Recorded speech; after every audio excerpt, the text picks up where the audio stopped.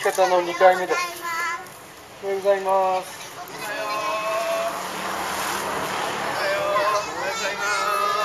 おはようございます。おはよう。えー右手の弾き方はあ良い音を出す練習なんですけれども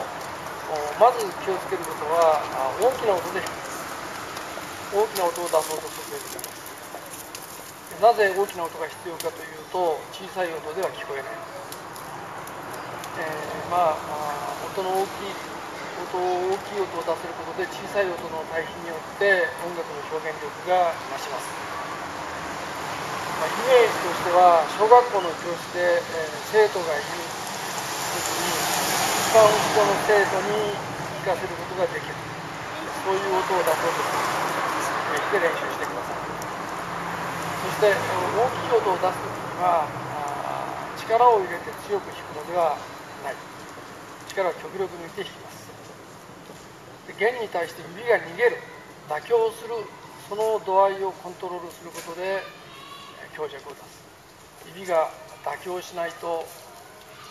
強い音になりますね。で指が妥協することによって小さい音が出すんですね。指を逃がしてやれば小さい音になる。指の動きはこのように弦に当たる瞬間が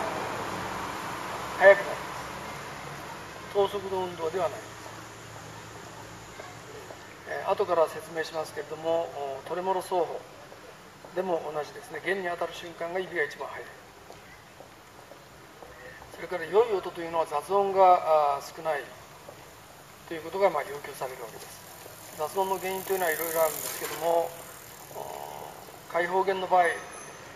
低音源というのは巻き弦なのでデコボコしてるその巻いてある方向による方向に引くことで防ぐ角度が出てしまうとこういうことなんですねギリギリとこれを巻いてある方向に引くことで、えその雑音が出るのを防ぎますこれを横に引いちゃうとこう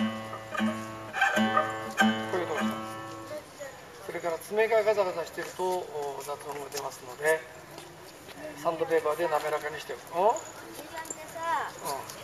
前にここになんかさ、なんかあってさ、聞いたんでしょそうそうそう。そうそう知ってるよ見てよあとねで爪はサンドペーパーで仕上げてえー滑らかにしておく私の場合は400番ぐらいで形を整えて1500番から2000番で仕上げるさらに紙の表面でえーこうすることで、えー、光沢が出る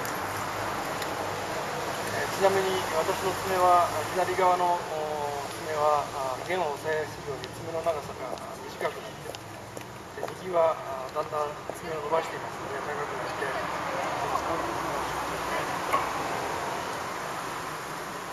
見えますか？左と右の爪の長さが変わっています、まあ、あまり関係ないですそれから本色のコントロールというのは爪の角度を変えて、えーえー硬くしたり柔らかくしたりする練習をすることによって、えーできるようになっているというふうに見えます。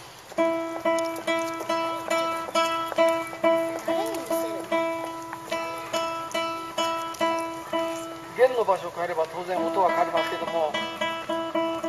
同じ場所でことで角度を変えることによって音を変えます。例えばあ5ページの1番1弦を弾いてみますと